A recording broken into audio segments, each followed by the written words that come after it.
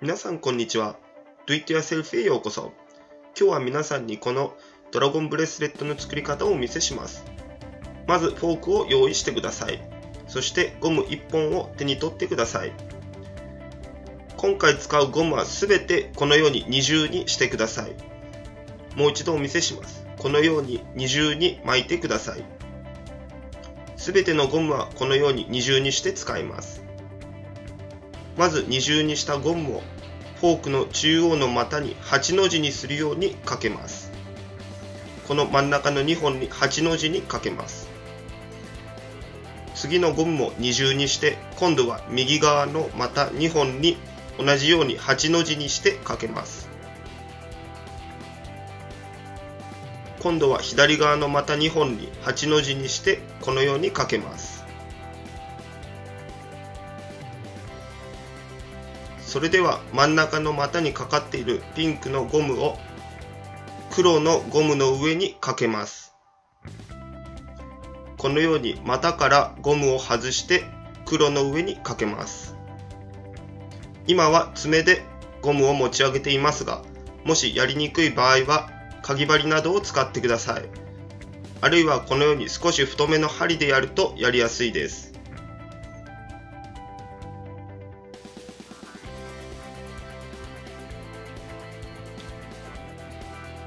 今度はゴム2本を手に取ってください。そしてこの2本も二重にします。つまり4重になります。それを真ん中のフォークの股2本にかけます。そしてその下の黒のゴムを持ち上げてピンクの上にかけます。このようにフォークの股から外してピンクの上にかけてください。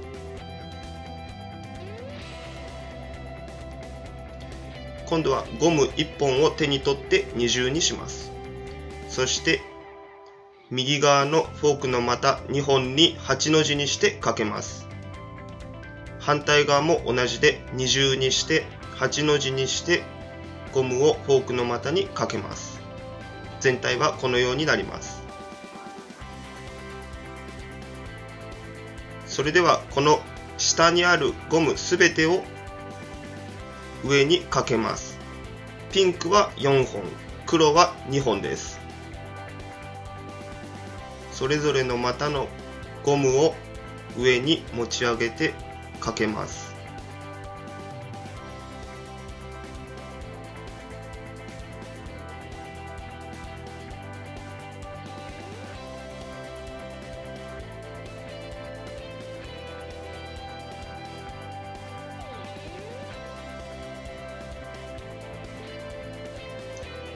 少し後ろに引っ張ります。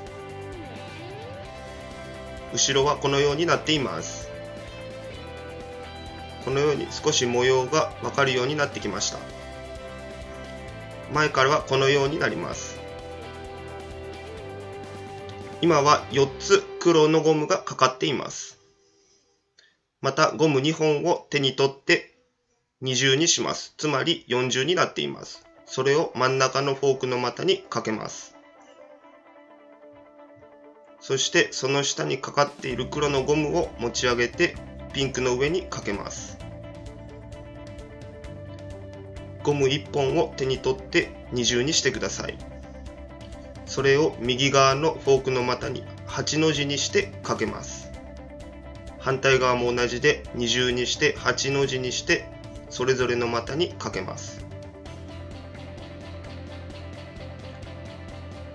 そして下のゴムを上に持ち上げてかけます。しばらくこの作業を続けてこのような長さになりました。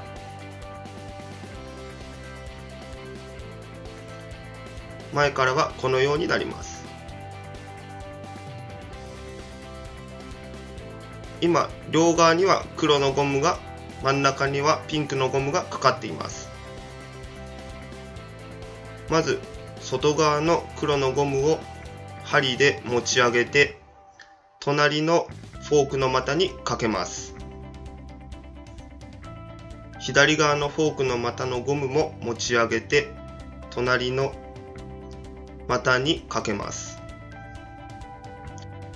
この後ピンクのゴムを上に持ち上げたいので黒のゴムをピンクの下にかけます。今ピンクが黒の上にあります。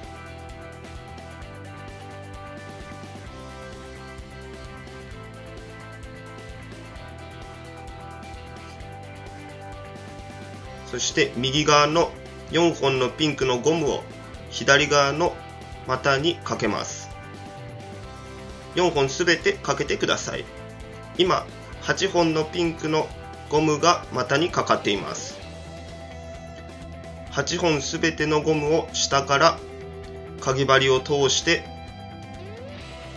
持ち上げます。少し引っ張ってください。すべての8本のピンクのゴムがかぎ針にかかっています。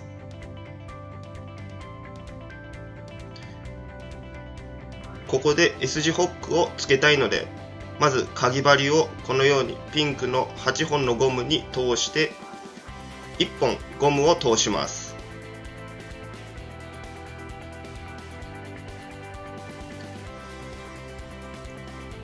このように通して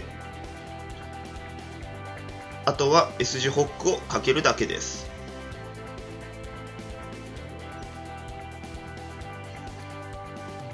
字ホックをかけたら反対側のアームバンドにかけてください。